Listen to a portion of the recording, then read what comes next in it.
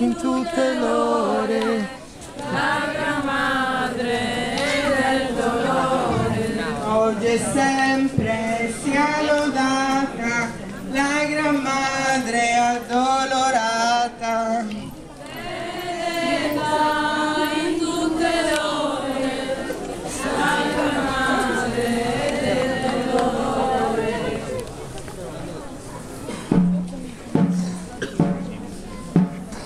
Thank you.